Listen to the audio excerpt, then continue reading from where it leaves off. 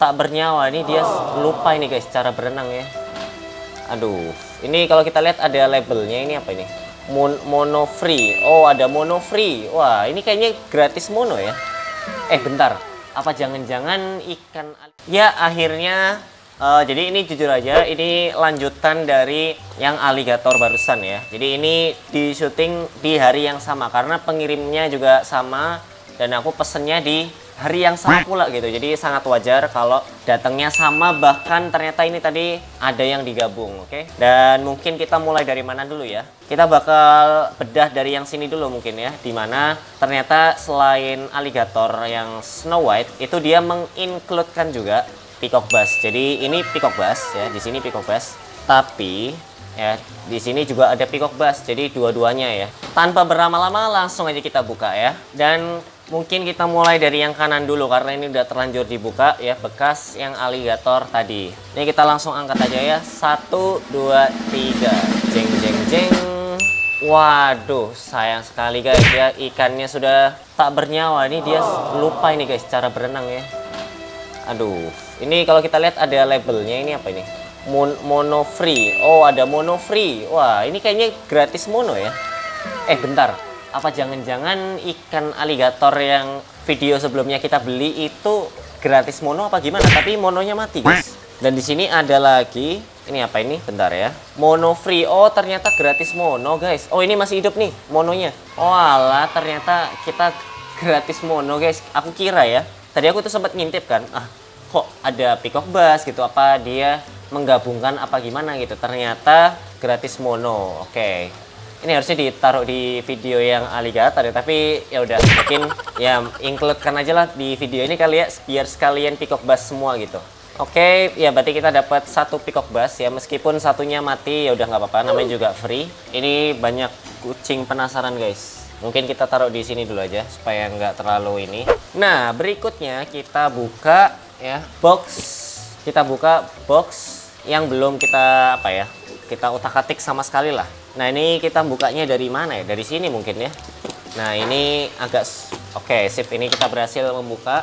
Ini bahannya rata-rata pakai kardus ya. Dan kayaknya ini karena kita nggak pesen styrofoam apa gitu. Kemarin kayaknya pesen deh. Tapi aku agak lupa sih. Setahu aku sih pesen ya. Cuman ya mungkin kesalahan aku lah.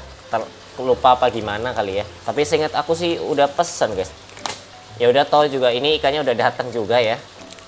Nah ini kita langsung buka aja dan kita buka. Kemarin aku beli pibasnya itu kalau nggak salah ada tujuh ya.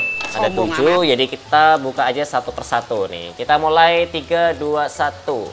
Pibas pertama ini dia pibas. Jadi yang kita beli kemarin pibas monokulus ya. Nah ini ini. Masih hidup oke. Terus ada lagi yang kedua. Ah yang kedua ma mati ya? Oh iya nih nih. Jadi nanti tiap pibasnya bakal di zoom sebentar juga sama video editor aku. Jadi nanti kelihatan mana yang mati mana yang enggak ya. Ini kayaknya mati deh. Nih mati.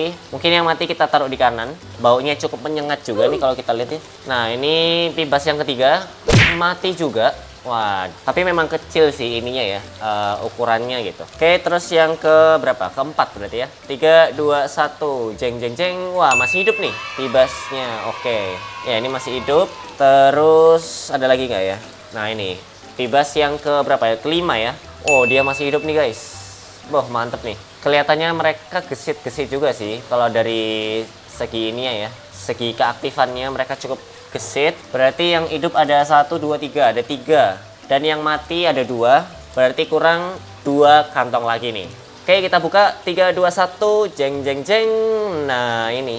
Ternyata alhamdulillah masih hidup juga ya. Kantong ke enam oke sini kita buka kantong terakhir. Tiga dua satu wih ini dia. Masih hidup rupanya. Alhamdulillah ya. Jadi masih bisa terselamatkan ada satu dua tiga empat lima. Ada lima ya. Plus tadi yang free itu ada satu berarti totalnya ada enam ya. Dan yang mati berarti totalnya yang free tadi satu sama yang pembelian biasa itu dua ya. Berarti totalnya ada tiga yang mati.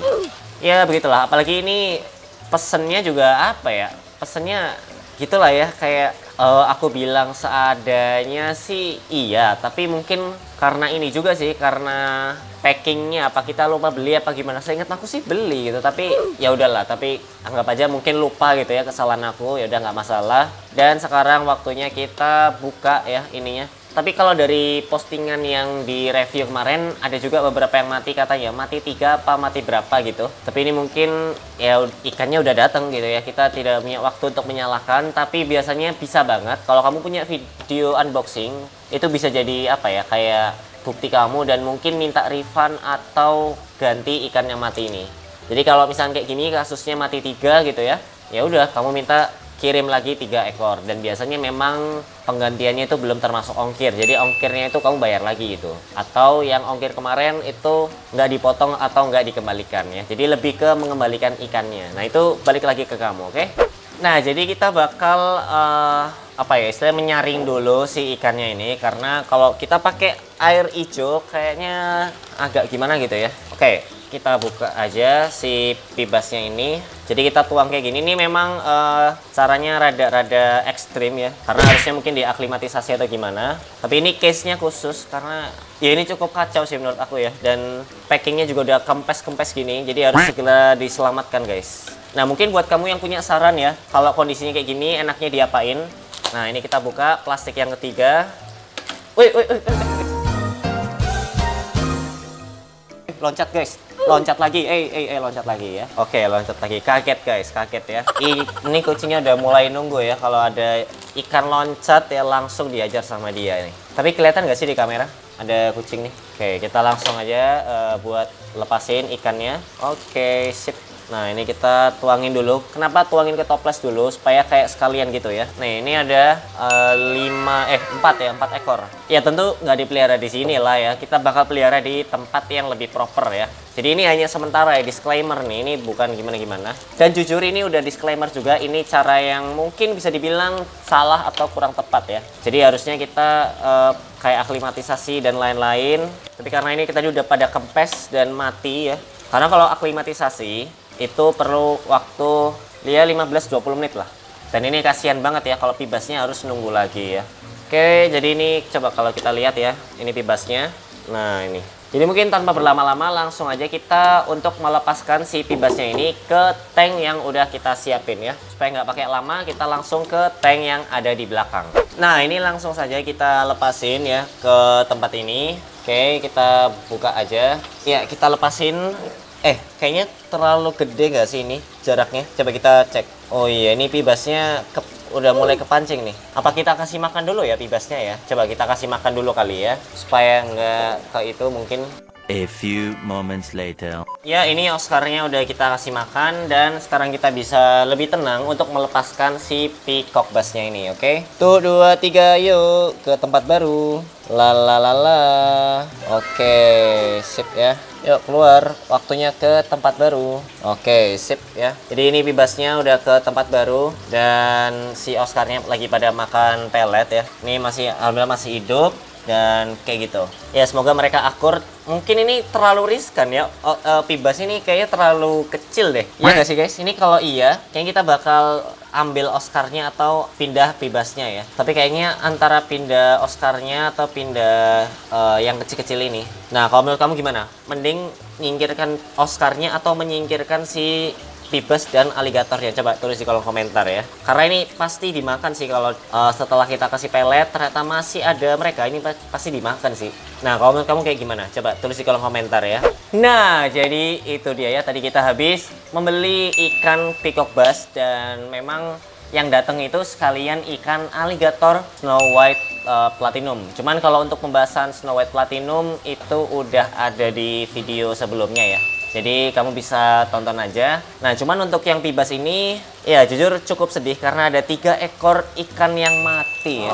Dan menurut aku ini wajar banget, apalagi pengirimannya bukan apa ya, yang kayak kereta gitu sekali. Mungkin dalam semalam bisa nyampe gitu ya. Atau mungkin mentok gitu dalam 24 jam udah sampai. Dan itu pun biasanya packingnya pakai styrofoam gitu yang lebih proper dan lain-lain. Dan meskipun udah disediain sih kalau nggak salah ya dengan harga tertentu, kalau nggak salah harganya 10.000. Ya anggap aja ini adalah uh, pengalaman dan gambaran kalau misalkan kamu beli ikan-ikan predator atau ikan semacamnya dan nggak pakai styrofoam itu kondisinya bakal kayak gimana? Ya kondisinya bakal kurang lebih seperti ini ya. Dengan ini packingnya seperti ini pakai kardus gitu dan bisa aja penyok karena kalau di apa ya ekspedisi itu pasti ada kayak apa ya barang yang tertumpuk dan lain-lain dan itu meningkatkan resiko apa ya boxnya itu jadi kayak ambles gitu loh.